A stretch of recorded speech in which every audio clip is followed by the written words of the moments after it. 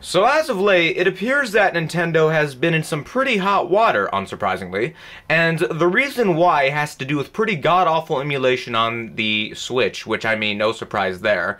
I mean, considering how out-of-date Nintendo is with everything, that should come as an absolute shock to no one. And people wonder why? H how could the the mega corporation do something this terrible? And I I'm going to show you why. But if you blink, you'll miss it. So just be ready, okay? Uh, are you ready? Okay, here we go. Oh, oh, oh, oh, oh, oh, oh, oh, oh, oh, Jesus Christ, it's like magic. Oh, it's gone. Did you see it? Did you blink? Did you see it? Yeah, it's because you Stockholm Syndrome having motherfuckers, they don't know when to quit this shit.